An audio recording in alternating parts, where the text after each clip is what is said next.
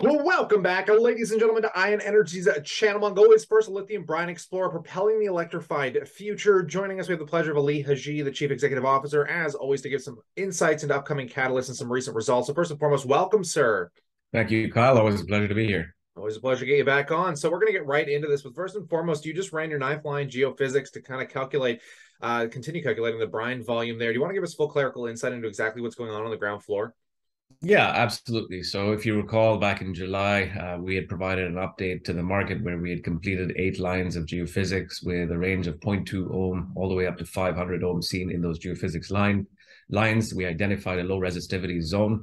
Uh, we were able to do a ninth line. It's about 16 kilometers long across all the eight lines, and that ultimately not only validates uh, the eight lines that were done historically, but gives you a better picture into the, the volume of brine beneath surface. So on that basis, we were able to use 6.5 ohm as cutoff, and we found that we have 27 billion uh, cubic meters uh, as far as brine beneath the surface. So very exciting uh, for a company uh, to, to find something of that nature.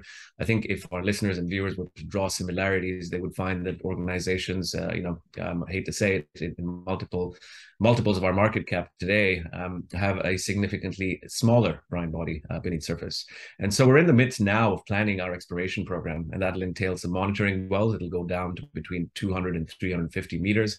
We've identified where they will go down, and we continue to work on the exact locations and the, the precise areas that would provide the best value for the company. And those rigs will be mobilized here in due course.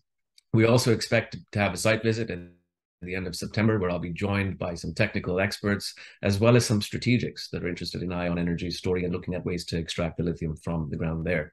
So once we've completed that drilling program, we'll get a sense of our resource, and uh, we expect to, to give the market an update on our resource at Urgakh Naran uh, before the end of this year. So extremely exciting times ahead.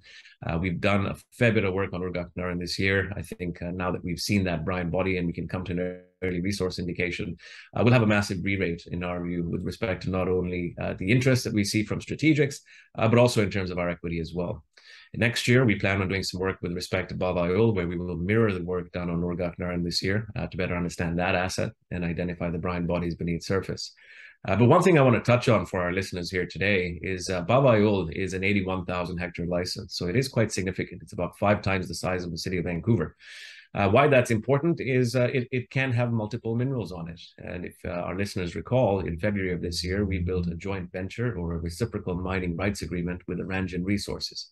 Aranjin Resources was able to identify a gabbrolitic deposit of copper and nickel on that asset a significant discovery that they have called the Victory deposit.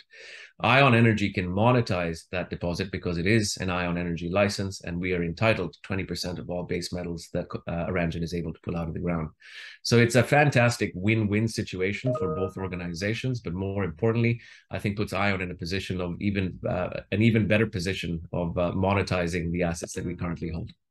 I really appreciate these updates today. So, from this catalyst perspective, just kind of you mentioned in the next uh, six months here or before the end of the year that you guys are going to get that uh, just the brine uh, the value in the ground there and kind of bring it up to uh, to surface on paper just to give us an idea of uh, the total asset value there. What what's one other thing that perhaps investors should be most focused on? I know you've been visiting that location uh, pretty frequently throughout this year going back with some of the uh, the explorers but what what else should investors just be fixated on I think investors should be fixated on that volume that I mentioned, that 27 billion uh, cubic meter volume. Uh, that is rather significant. And if you look at the surface samples at 918 milligrams per liter, um, we still have work to do at depth, and that's why we're drilling these deeper holes. Uh, once we receive those brine samples from depth and we're able to calculate an average grade, uh, you know, you multiply that by the volume, uh, and this thing starts to grow very, very quickly.